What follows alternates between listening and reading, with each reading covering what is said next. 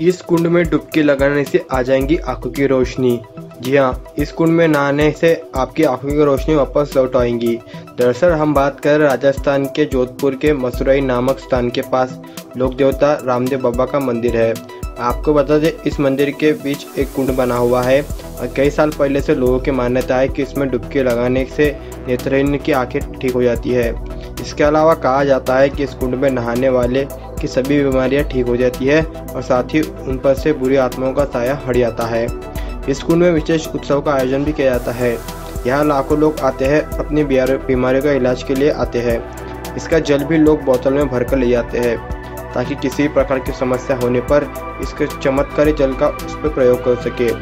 यह मान्यता बहुत बरसों से चली आती है और लोग इस पर विश्वास करते आते हैं। राजस्थान के छोटे से गाँव में यह होता है और आप ज़रूर ट्राई कीजिएगा। पी एम न्यूज़ ट्वेंटी की रिपोर्ट।